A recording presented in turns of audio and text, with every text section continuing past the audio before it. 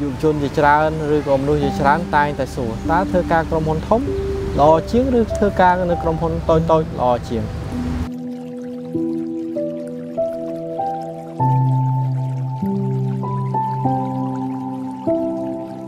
នៅពេលដែលយើងរៀនចប់បដុបក្តីរៀនចប់មហាវិទ្យាល័យក្តីរៀនចប់បញ្ញាបត្រជាន់ខ្ពស់ក្តីជាដើមឡាយើងប្រកាសជាចង់ទៅធ្វើការនៅតាមបណ្ដាក្រុមហ៊ុនផ្សេងផ្សេងជាច្រើន ក្នុងនោះមានសំណួរមួយគេសួរថាឬក៏យុវជនយើងតែងតែសួរថាតើគួរធ្វើការនៅក្រុមហ៊ុនធំដែលមានស្តង់ដារច្បាស់លាស់ធំຂະຫນាតធំពាក្យថាຂະຫນាតធំមកមានបុគ្គលិករាប់ហើយអ្នករាប់ពាន់អ្នកឬរាប់ម៉ឺនអ្នកជាដើមឡាលំដាប់ថ្នាក់អន្តរជាតិឬក៏គួរធ្វើការនៅតាមក្រុមហ៊ុនតូចតូចនឹងជាអ្វីដែលជាសំណួរដែល យុវជនជាច្រើនឬក៏មនុស្សជាច្រើនតែងតែសួរតើធ្វើការក្រុមហ៊ុនធំល្អជាងឬធ្វើការនៅក្រុមហ៊ុនតូចតូចល្អជាងវាស៊ីសងទៅលើគោលដៅនៅក្នុងជីវិតរបស់យើងតើយើងចង់ធ្វើជាអ្នកធ្វើការ professional អញ្ចឹងនៅពេលដែលយើងចង់អញ្ចឹងអ្វីដែលល្អបំផុតគឺយើងត្រូវធ្វើការក្នុងក្រុមហ៊ុនធំព្រោះថាក្រុមហ៊ុនធំ គឺគេមានកម្មឲ្យយើងឡើងពីមតនៈពីមតនៈពីមតនៈឲ្យយើងឡើងរហូតទៅដល់កម្រិតខ្ពស់ណាមួយទៅតាមលំដាប់ថ្នាក់របស់ក្រុមហ៊ុនហ្នឹងហើយមានកម្មយ៉ាងច្រើនធ្វើឲ្យយើងឡើងរហូតយើងធ្វើការមួយជីវិតគឺចំការឡើងកម្មនឹងអត់អស់ផងនឹងប្រសិនបើយើងចង់ធ្វើជាអ្នកធ្វើការបែបអ្នកជំនាញនៅក្នុងក្រុមហ៊ុនក្នុងជីវិតរបស់យើងហ្នឹងគឺខ្ញុំ ឲ្យយើងជ្រើសរើសក្រុមហ៊ុនណាដែលធំតែប្រសិនបើយើងចង់ធ្វើជាអ្នករស់ស៊ីចង់ធ្វើសហគ្រិនចង់ធ្វើអ្នកជំនួញអ្វីដែលយើងគួរធ្វើយើងធ្វើការនៅក្នុងក្រុមហ៊ុនតូចល្មមបានហើយហើយក្រុមហ៊ុនហ្នឹងប្រសិនបើយើងចង់រស់ស៊ីនៅក្នុងវិស័យមួយណា យើងគួរតែធ្វើការនៅក្នុងក្រុមហ៊ុនដែលស្ថិតក្នុងវិស័យមួយហ្នឹងហើយតូចល្មមបានហើយហេតុអីបានជា នៅពេលដែលយើងចង់ខ្លាយទៅជាអ្នករស់ស៊ី យើងត្រូវធ្វើការក្នុងក្រុមហ៊ុនតូចល្មមបានព្រោះថាក្រុមហ៊ុនដែលតូចល្មមហ្នឹងគឺយើងអាចមើលឃើញពីដំណើរការរបស់ក្រុមហ៊ុនទាំងអស់ដឹងបាន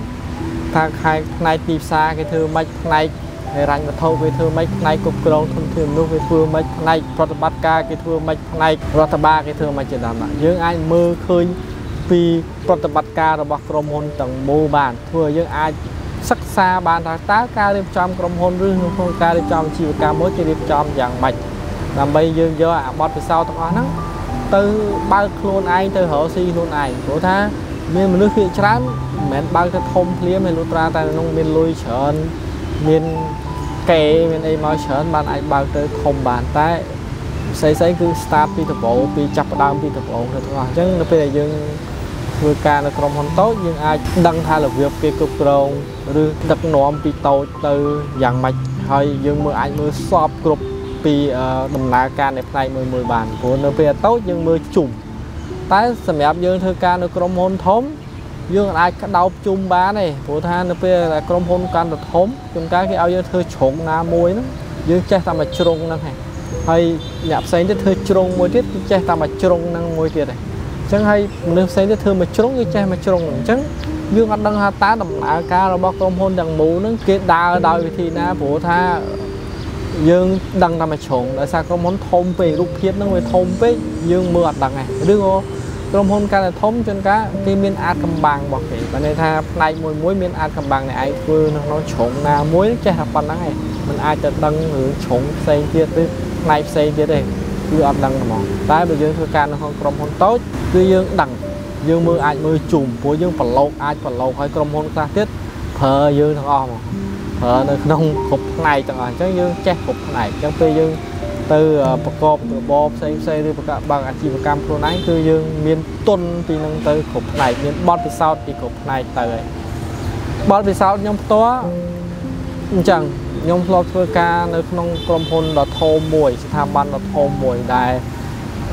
ខ្ញុំចេះតែមួយជ្រុងណាមួយនោះឯងសំបីតែមួយជ្រុងណាមួយហើយផ្សេងទៀតខ្ញុំអត់សូវដឹងឯងនៅពេលដែលយើងចេញទៅរកស៊ីប្រកបអាជីវកម្មខ្លួនឯងយើងចាប់ផ្ដើមយើងគិតថាយើងយកអ្វីដែលយើងធ្វើនោះខ្ញុំមកអនុវត្តនៅក្នុងក្រុមហ៊ុនដ៏តូចមួយរបស់យើង ទីបំផុតយើងជួបរឿងបរាជ័យដោយសារតែយើងយកស្តង់ដារក្រុមហ៊ុនធំមកអនុវត្តនៅក្នុងក្រុមហ៊ុនតូចទីបំផុតបរាជ័យអញ្ចឹងអ្វីដែលជាបទពិសោធន៍របស់ខ្ញុំហ្នឹងគឺខ្ញុំលើកទឹកចិត្តថាប្រសិនបើយើងចង់ខ្លាយជាអ្នករស់ស៊ីចង់ខ្លាយអ្នកប្រកបអាជីវកម្មគឺយើងធ្វើការក្នុងក្រុមហ៊ុនតូចតូចបានហើយពេលនោះយើងនឹងមើលដឹងថាក្រុមហ៊ុនតូចតូចហ្នឹងគេគ្រប់ផ្នែកទាំងអស់គេធ្វើម៉េចហើយបើសិនជាយើងចង់ខ្លាយទៅជាអ្នក ធ្វើការជាអ្នកជំនាញណាមួយគឺយើងក្នុងជីវិតរបស់យើងយើងធ្វើការក្រុមហ៊ុនដែលធំស្ថាប័នដែលធំព្រោះស្ថាប័នធំគឺមានកម្មមកយើងឡើងរហូតហើយយើងមានមុខមាត់មានកិត្តិយសទៅតាមនោះដែរអញ្ចឹងសួរថាអញ្ចឹងមួយណាល្អជាងវាអត់មានមួយណាល្អជាងមួយណាអាក្រក់ជាងស៊ីសងទៅលើ គោលដៅរបស់យើងហើយគោលដៅហ្នឹងក៏គ្មានគោលដៅណាល្អមានគោលដៅណាក៏សំខាន់ទៅលើតើយើងសុបាយចិត្តជាមួយនឹងគោលដៅរបស់យើងអត់យើងសុបាយចិត្តទៅនឹងជីវិតរបស់យើងអត់ព្រោះថាមនុស្សម្នាក់ម្នាក់គឺមានសុភមង្គលផ្សេងផ្សេងទៅលើរឿងផ្សេងផ្សេងគ្នាអញ្ចឹងមិនមែនថាយើងមានសុភមង្គលរឿងរកស៊ី គេផ្សេងត្រូវតែមានសុភមង្គលតាមយើងបានអត់គឺគោលដៅឬក៏របៀបរស់នៅក្នុងជីវិតផ្សេងផ្សេងគ្នាគ្មានខុសគ្មានត្រូវអរគុណជាប់លុយគឺជាអ្វីជាប់លុយគឺជាគេហទំព័រនិងកម្មវិធីលើទូរស័ព្ទសម្រាប់ផ្សាយការងារចំពោះនយោជកអាចផ្សាយរឿងបុគ្គលិកនិងស្វែងរក CV